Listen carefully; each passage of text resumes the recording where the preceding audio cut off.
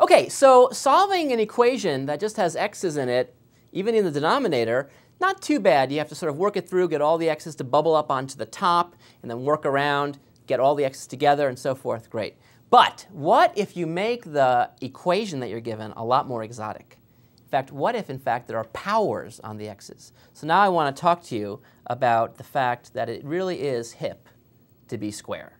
In particular, I want us to think about quadratic type equations. Now, a quadratic equation has sounds sort of intimidating, quadratic, and starts with a QU, and it sounds really great. But really, all it means is that there are x's now that instead of just appearing naked, actually now have a power of 2 on them.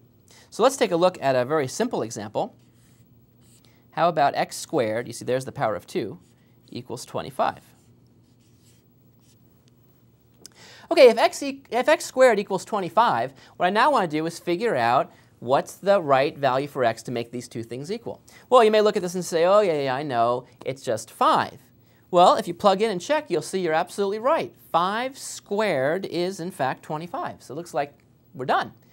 Uh, but actually, that's not the only solution. Because what happens if for x, I put in minus 5? Well, if I take minus 5 and square it, that's minus 5 times minus 5, I'd still get 25 because those negative signs would drop out. So in fact, now we see there are two answers. Maybe there are three answers that we just don't even know what the third one is yet. So when you have powers in the variables, you actually may get more than one answer.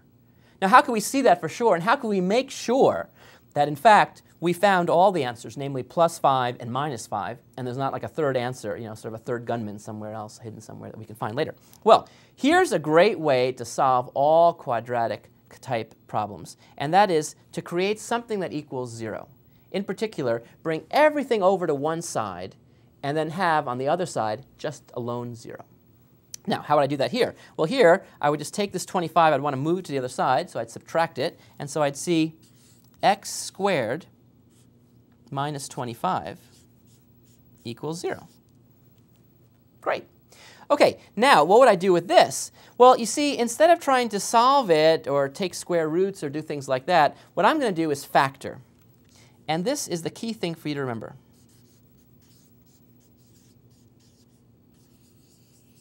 Factor.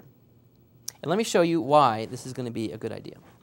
You see, there are people that might say, you know what, I know this stuff, I remember it, I saw it before, and here's what I'm going to do. I'm just going to take square roots of both sides, and I'm just going to say the following. I'm just going to say x equals 5 and be done with it. The problem is that is not quite right, but this is a very, very common mistake. In fact, this is number two on my top 10 lists of classic, classic mistakes. It's right there. You see it, bing! Number two, it's the quadratic mistake. The thing to remember is when you have an exponent of 2, it means there may, in fact, be two answers. So just taking square roots of both sides ain't going to cut it anymore. Okay? And what you've got to do is make sure you're going to capture all the solutions. So instead of the square root business, which, you know, eh, it only works for these kind of problems if it even works then. Instead, use the factor method. So the factor method is to make sure that you just have 0 on the right and everything else over on the left. And then look at what you've got there and try to factor. Okay? And if you need help factoring and want a refresher course in factoring, just click one of those buttons down there and you can just see all the factoring you want, more factoring than you ever thought humanly possible. I ought to know because I factored those things down there. Anyway, uh, this I see is the difference of two perfect squares. And so I know how to factor that. It would just be x plus 5 multiplied by x minus 5. And I still have that equal to 0. And now here is the key fundamental fact about mathematics that's going to save us. It's going to rescue us out of this dilemma. If I have two numbers, and if their product is 0, the only way that can happen is if either the first number were to be 0 or the second number were to be 0. I can't take two numbers, neither of which is 0, and multiply them together and produce 0. Try it. 2 and 7 doesn't work. How about 4 and minus 3? Doesn't work. You can't do it. So if I have a product of two things that equals 0, either this is 0 or that's 0, and that's it. Well, if this is 0, I could write that down. x plus 5 equals 0. That would lead me, lead me to the solution x equals minus 5. On the other hand, so or, maybe x minus 5 equals 0. In that case, I would see that x would have to be 5. And now, you see, I'm able to find not only both solutions, but discover that's all there is. Because, well, I factored and saw these are the only possible ways to make this thing 0.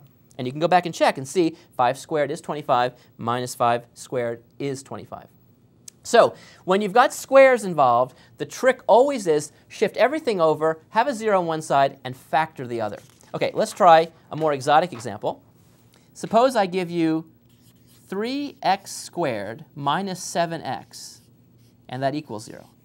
Well, now we're in great shape because, in fact, they handed this to us on a silver platter, right? I already have the 0 there. Now my job is to factor. What technique would I use here? Well, I look at this and I say, gee, there's a common factor of x. Let me just factor out that common factor of x and see what we're left with. If I factor that out, so there's the common x. I'd have to have a 3x here. That's the remaining stuff after I factor out an x. And here, if I take away that x, I just have the minus 7. And so I factored it as x times 3x minus 7. Okay, so now I've got a product of two things that actually come together to make 0. The only way that can happen is if either this thing is 0 or that thing is 0. Well, that means that either x equals 0 or, what's the other possibility? This thing equals 0. So 3x minus 7 equals 0. And now I'm going to go off and solve this little linear equation. I would bring this minus 7 to the other side. It becomes a plus 7, or add 7 to both sides, if you will and I see 3x equals 7. And now I divide both sides by 3. And if I divide both sides by 3, the 3's now here cancel, and I see x would equal 7 over 3. And so I see two solutions. x equals 0 is a solution. You can try that really easily and see. Plug in 0 here, and you see 0 minus 0 is 0. But also, 7 thirds is a solution. And you can actually check that by plugging in 7 thirds here and squaring it, getting 49 over 9 times 3, and seeing what you get when you take minus 7 times 7 over 3. Look what happens. I would see 3 times 49 over 9, and I subtract off 7 times 7 over 3. Look what happens. The 3 and the 9 have a little bit of cancellation together. It produces a 3 downstairs, so I have a 49 over 3. But then minus 7 times 7 is 49 over 3. Something minus itself, 0 checks. Ching, and that's it. Okay, let's try maybe, in fact, let me give you a chance to do one of these. I think that you're having, I'm having too much fun here. So I'm going to give you one and see if you can solve it. 2x squared minus 5x minus 3 equals 0. Okay, see if you can find out what values of x would satisfy this equation. Try right now.